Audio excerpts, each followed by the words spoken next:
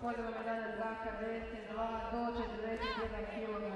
Vito Milanović, Leo Antonija, Max Hajan, Karlo Malečić.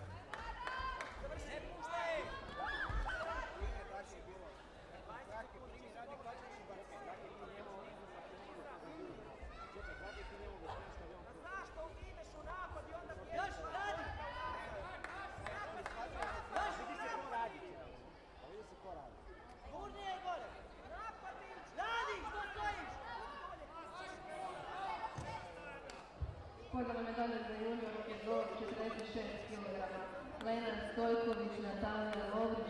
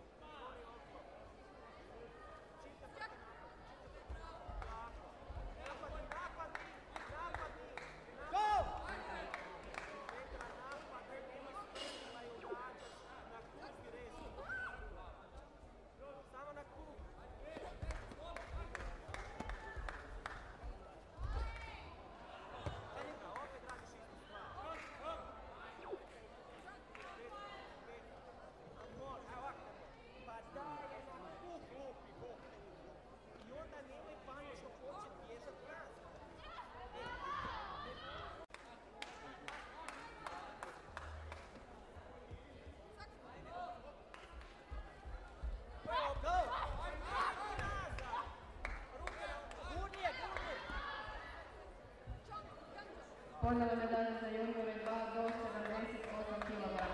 Dino Obradova, Filip Kašić, Mateo Knez,